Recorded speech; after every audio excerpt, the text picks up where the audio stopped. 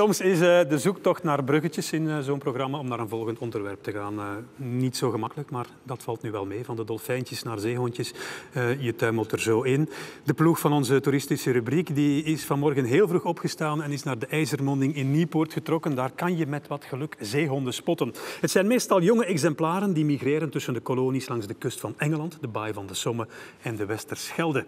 Luc David gaat elke ochtend zeehonden spotten. Hij telt ze en fotografeert ze. En hij is ook een cameraploeg graag ter wille. Hij geeft graag tekst en uitleg bij het leven van de zeehondjes. Hallo, ik ben Luc David. Ik ben natuurgids en vrijwilliger bij Natuur en Bos. En ik zal jullie meenemen naar het gebied de IJzermonding, waar veel vogels en uiteraard zeehonden zitten.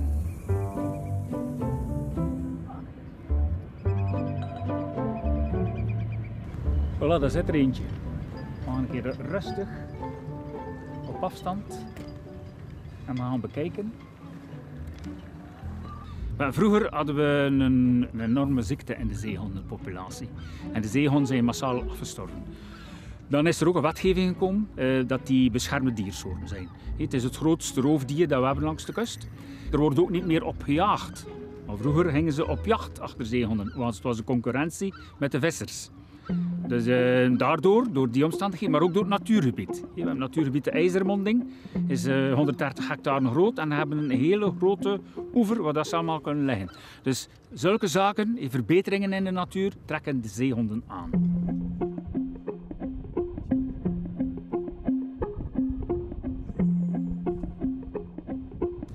Ja, van de natuur kan ik genieten. Kom ik daar een rustige mens van.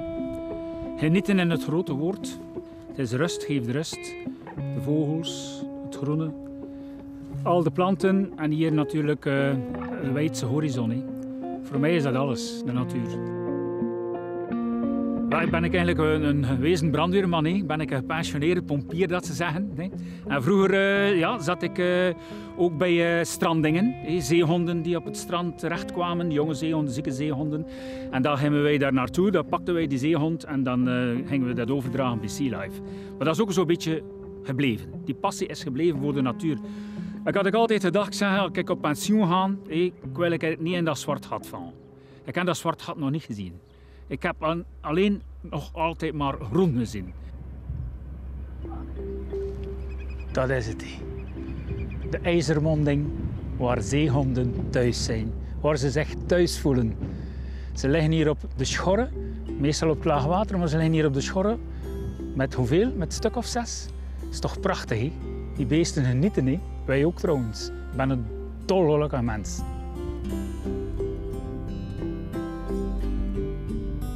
En ze liggen hier juist in de inham van de IJzermonding, die eigenlijk de IJzermonding bij vloed een klein beetje onder water zet en bij springtij volledig onder water zet. Nu gaan ze zo uh, kom koekeloer nee, dan zeggen. Kijk, kijk, wat is er daar aan de hand? En dan gaan ze rustig terug op de schorren gaan. We noemen het uh, de IJzermonding gered door de zeehond. Het is een gebied hier en wij mogen daar een keer in. Maar het is hun natuurlijk gebied. Prachtige beesten. Hè. Er zit er nog een kleintje tussen ook. En we hopen, alleen dat is onze hoop, we hopen dat we ooit een keer een kleintje een bevalling kunnen meemaken van een zeehondje, van een gewone zeehond of van een reizen, hier in de IJzermonding van Niepoort. Dat is onze wens.